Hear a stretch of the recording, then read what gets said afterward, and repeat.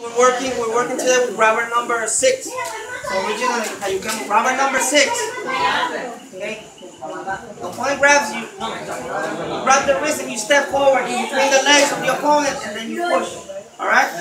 Twisting the wrist and the elbow, right? You have the control right here.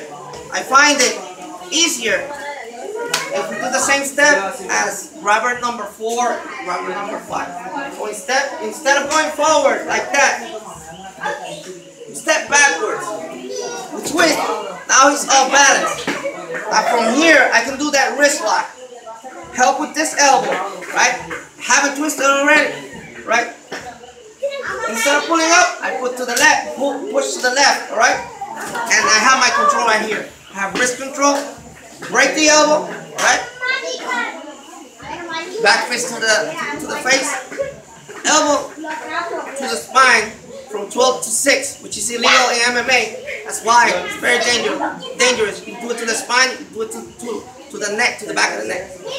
Expose the ribs, you can hit the ribs, or better, you, you hit the, the, the face. So, originally, technique, grabs, I go inside, control.